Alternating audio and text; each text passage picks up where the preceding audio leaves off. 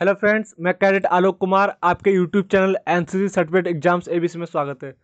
Friends अक्सर क्या होता है कि जैसे हम एन सी कैडेट हैं, हम अब जब भी अपना एग्ज़ाम देने जा रहे होते हैं या प्रैक्टिकल देने जा रहे होते हैं तो फ्रेंड्स अच्छा नहीं जाता। या हम किताब का सिलेबस देख के देखते हैं तो फ्रेंड्स हमें लगता है कि सिलेबस बहुत ईजी है। लेकिन फ्रेंड्स क्या होता है क्वेश्चन जो होते हैं मतलब जब पूछा जाता है एग्ज़ाम में या मतलब प्रैक्टिकल में पूछे जाते हैं तो फ्रेंड्स क्या होता है, हम देखे तो आते हैं, लेकिन उस तरह से जैसे हम नंबर रिस्पेक्ट करते हैं, वैसा नंबर नहीं आता।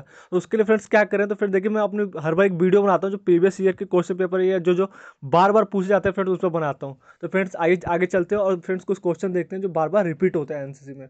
अगर फ्रेंड्स आप ए सर्टिफिकेट बी या सी खासकर बी और सी वालों के लिए फ्रेंड्स, जो अगर आप एग्ज़ाम देने जा रहे हैं तो फ्रेंड्स ध्यान से मेरे इस क्वेश्चन को देखिए। आप प्लीज़ फ्रेंड मैं आपको कहूँगा वीडियो देखने से पहले आप एक कॉपी और पेन ले लीजिए, क्योंकि फ्रेंड्स ये मैंने करीब पिछले सात से आठ सालों के क्वेश्चन पेपर को मैंने छाट छाट के मतलब फ्रेंड्स ऐसे क्वेश्चन इसमें निकाले हैं, जो बार बार करीब करीब तीन बार, चार बार लगातार रिपीट हुए हैं। तो फ्रेंड्स ज़ाहिर सी बात है, आगे भी आ सकते हो। तो फ्रेंड्स प्लीज़ आप कॉपी और पेन लेके बैठ जाए प्लीज़ आगे चलते फ्रेंड्स। देखिए फ्रेंड्स, पहला क्वेश्चन है राष्ट्रीय क्रेडिट कोर क्या है? तो राष्ट्रीय कैडेट कोर एक युवा विकास आंदोलन है मतलब कि एक युवाओं का एक क्या है मतलब आंदोलन है, इसमें राष्ट्र निर्माण के लिए बहुत संभावना है, यानी देश को बढ़ाने के लिए। ये एनसीसी कर्तव्य प्रतियोगिता, समर्पण, अनुशासन और नैतिक मूल्यों की भावना के साथ देश के युवाओं को अपने समग्र विकास के लिए अवसर प्रदान करता है। उसका फ्रेंड्स ताकि वे योग्य नायक, उपयोगी नागरिक बने एनसीसी कैडेट के विभिन्न प्रकार की गतिविधियों को उभारने के लिए अवसर प्रदान करता है और सामाजिक सेवा, अनुशासन एवं एडवेंचर प्रशिक्षित पर विशेष ज़ोर दिया जाता है। एनसीसी विद्यालय और महाविद्यालय सभी नियमित छात्रों और स्वैच्छिक आधार पर उपलब्ध है। यानी कोई व्यक्ति अपनी मर्ज़ी से ले सकता है, उसे कोई दबाव नहीं है। छात्रों पर सक्रिय सैनिक सेवा करने का कोई दायित्व नहीं है। उसके आगे चलते फ्रेंड्स राष्ट्रीय कैडेट कोर की स्थापना कब हुई थी? वैसे तो फ्रेंड्स नाइनटीन फोर्टी एट देखा लेकिन रियल मायने में जब मतलब ब्रिटिश सरकार थी तो उन्होंने मतलब यूसी की स्थापना की थी, यानी यूनिट कोर की। यानी इसका मतलब ये होता है फ्रेंड्स कि ब्रिटिश सरकार अपने उसमें एक अच्छे ऑफिसर मतलब कि इंडियंस को ले सके और उनका यूज़ कर सके। लेकिन आगे चल के फ्रेंड्स यूसी से करते करते एनसीसी बन गया मतलब कि राष्ट्रीय कैडेट कोर बन गया। आगे चल, देखते हैं फ्रेंड्स कैसे बना।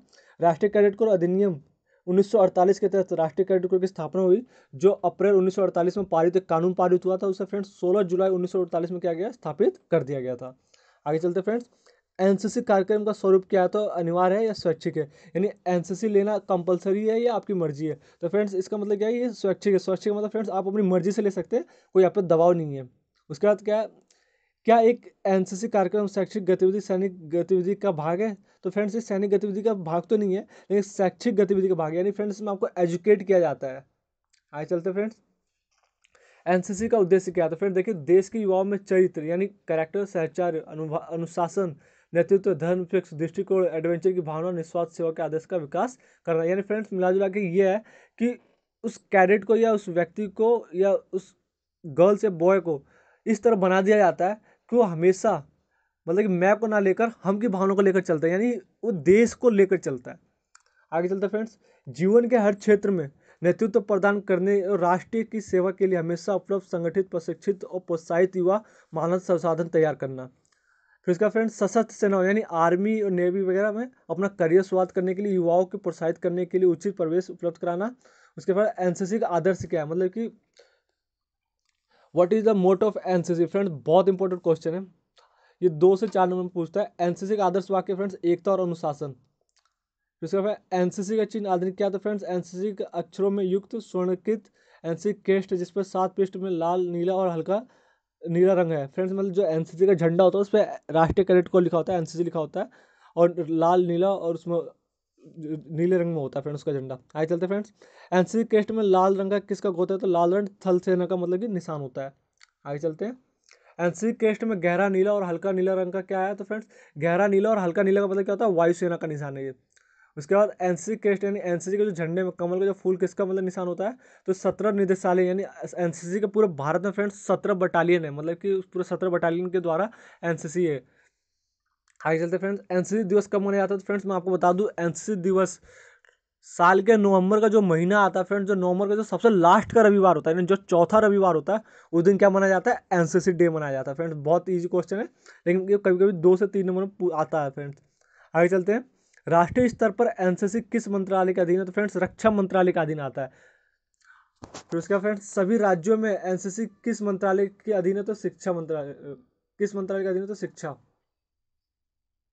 उसके बाद एनसीसी के लिए वित्त निधियों की व्यवस्था क्या तो फ्रेंड्स केंद्र और राज्य सरकारें दोनों मिलकर क्या कहते हैं? एनसीसी के कैडेटों को पैसा देती है मतलब कि कार्यक्रमों को पैसा देती है। उसके फ्रेंड्स देखिए एनसीसी के निदेशालय क्या है? तो फ्रेंड्स राज्य स्तर पर एनसीसी के सत्रह निदेशालय में विभाजित किया गया यानी सत्रह सत्रह पार्ट में डिवाइड किया गया है पूरे ऑल ओवर इंडिया में। उसके फिर जिसमें एक राज्य या राज्यों का समूह का निदेशालय के रूप में गठित किया जाता है। छोटे राज्यों, संघ राज्यों के क्षेत्र बड़े राज्यों के निदेशालय के साथ जोड़ दिए जाते हैं। यानी फ्रेंड जो दो चार से छोटे छोटे राज्य हैं, उन्हें एक साथ जोड़ दिए जा जोड़ दिए जाते हैं। प्रत्येक निदेशालय के ब्रिगेडियर, एक मतलब हर एक निदेशालय में एक ब्रिगेडियर, मेजर जनरल के रैंक में पदोन्नति प्राप्त होता है। उसके बाद समक्ष अधिकारी जिन्हें अन्य दो सेनाओं के साथ लिया जाता है, अनित रखा जाता है। उसका फ्रेंड एनसीसी ग्रुप क्या है? फ्रेंड बहुत बहुत इंपॉर्टेंट क्वेश्चन फ्रेंड पाँच नंबर में आया था, मेरे टाइम जब मैंने पेपर दिया था सी सर्टिफिकेट का। देखिए क्या है? निदेशालय को ग्रुप में उप विभाजित किया जाता है। जो राज्य के आकार के अनुसार बदला, प्रत्येक, बदला, बदलता है। मतलब राज्य के उसके जनसंख्या के अनुसार, कैडेट की जनसंख्या तो बदल भी जाता है। प्रत्येक ग्रुप कर्नल, यानी ब्रिगेडियर रैंक में पदोन्नति प्राप्त करने रैंक के समक्ष अधिकारी के कमान अधीन है। देश में कुल 95 ग्रुप मुख्यालय हैं। उसका फ्रेंड देखिए एनसीसी ग्रुप संगठन, संगठनात्मक संरचना क्या है? फ्रेंड देखिए, ग्रुप में एनसीसी बटालियन वायुसेना एवं नौसेना यूनिटें शामिल हैं। ग्रुप कमांडर के अलावा प्रत्येक ग्रुप मुख्यालय में एक प्रशिक्षित प्रशासनिक अधिकारी और एक प्रशिक्षक अधिकारी है, जिसमें लेफ्टिनेंट रैंक का, कर्नल रैंक का मेजर रैंक के होते हैं। आगे चलते फ्रेंड्स।